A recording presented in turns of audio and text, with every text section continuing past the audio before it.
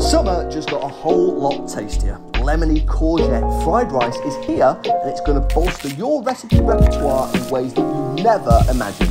Now, prep all your ingredients before you start cooking to minimise stress and maximise efficiency. Fresh flavours galore in this one. We've got onion, garlic, lemon, basil, olives, nooch, decent, every single one of them. And when you pair those flavours with courgette, basmati rice, and a whole bunch of spinach, you're left with a delightfully delectable dish that makes for a great good dinner and a pretty decent lunch too. Now, we've cooked our lemony courgette fried rice in our brand new kit pan, which is actually genuinely class. The link for the pan is at bosh.tv, and so is the full recipe.